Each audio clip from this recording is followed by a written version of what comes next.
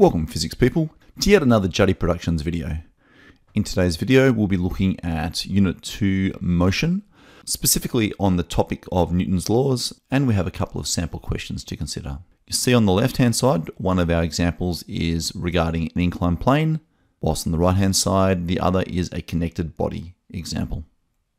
Scenario 1. James is sliding down a slide inclined at the ground as shown below. There's a constant friction force of 100 newtons that acts on James, and James has a mass of 80 kilograms. So this is all represented in our diagram.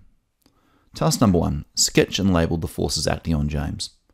Most of us are aware of the fact that Earth is pulling on James. That generates a gravitational force, Fg.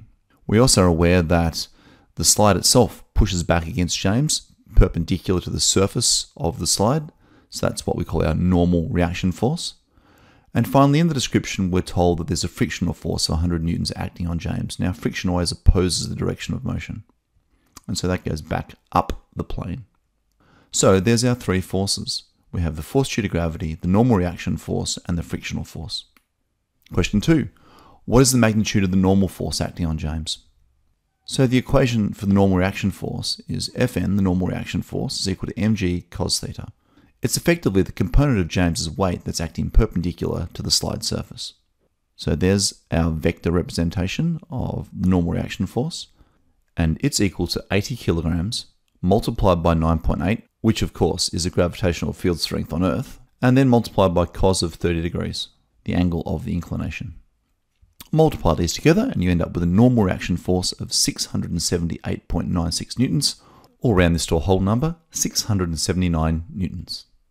Question three, what is the magnitude of the net force acting on James? So here's our equation. Net force equals mg sine theta, take the force due to friction.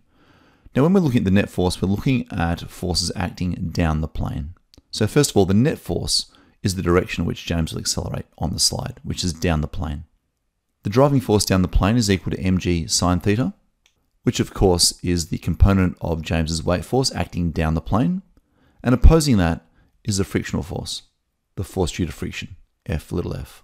So, as a statement, we can say the net force is equal to mg sine theta, take F of the friction. Sub in our values, the mass of 80. Gravity, as we know, is 9.8 newtons per kilogram on planet Earth. We're multiplying it by the sine of the incline angle of 30 degrees, and we're subtracting the 100 for the frictional force. Placing all those values together, we end up with a net force of 392 take 100, which is 292 newtons down the plane. Scenario 2, we're looking at a 4 kilogram box resting on a smooth horizontal table, as can be seen. It's attached to a 2 kilogram mass by a light string via a frictionless pulley. There's our 2 kilogram mass.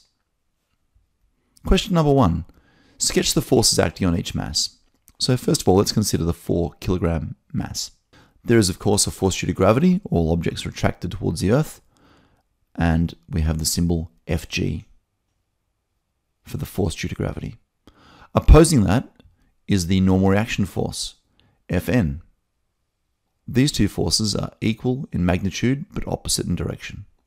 The 2 kilogram mass also has a force due to gravity attracting it to the Earth, and we'll colour that a green, Fg, to distinguish between it and that of the 4 kilogram mass. Two of the forces that aren't always easy to see are the forces due to tension. So on the top of this horizontal section of our string is a force due to tension, pulling the 4 kilogram mass to the right. And down the bottom here, we also have a force due to tension. Without it, the 2 kilogram mass would fall straight to the ground at an acceleration of 9.8 meters per second per second. So it's opposing that, pulling upwards. Question 2. Determine the acceleration of the 4 kilogram box. So let's examine the 4 kilogram mass only. As I mentioned earlier, the force due to gravity cancels out with a normal reaction force. The box undergoes a net force to the right, which is being generated by the tension in the string. So we can say that the tension force on the box is equal to its mass times acceleration. The mass of the box is 4 kilograms, so we can now state that Ft equals 4a. That's our first equation we've derived looking at the acceleration of the 4 kilogram box. Let's now examine the second object, the 2 kilogram mass. We can see a net force acting downwards towards the ground. And that's due to the opposing forces of the force due to gravity and the tension in the string. So the difference of those two forces produces the net force, which is equal, of course, to ma, Newton's second law. Fg, the gravitational force, can be expanded as mg. And of course, we see the mass here is 2 kilograms, so we sub that into our equation. And gravity is 9.8 newtons per kilogram, so we sub that also into our equation. 2 times 9.8 combines to give us 19.6. Take the force due to tension is equal to 2 times A. At this point, we'll recall from equation 1 that Ft is equal to 4A. Now, whilst that was determined for the 4 kilogram mass, the tension of the horizontal string is equal to the tension of the vertical string. For Ft, we can substitute in 4A. So we now have an expression, 19.6 take 4A equals 2A. We can group our like terms and move the a's to the right hand side of the expression, which tells us that the acceleration of this system will be 3.3 meters per second per second. Finally, we want to calculate what the tension is in the string. Now the tension is operating between the two objects, so we can't analyze the entire system in one go. We need to either consider the 4 kilogram box to work out the tension, or the 2 kilogram mass to work out the tension. I'm going to choose the 4 kilogram box. So let's examine it. We know the net force is equal to ma, and it's being generated by the tension. So we can say that the force of the tension is equal to the mass times acceleration of the 4 kilogram box. So the mass of the box is 4, and we just determined the acceleration was 3.3 meters per second per second.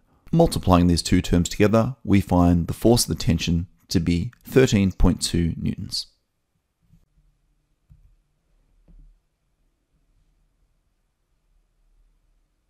You've been watching a Juddy Productions video. If you've enjoyed and indeed learnt something from this video, then please remember to like, share, comment, and subscribe. And as always, thanks for watching.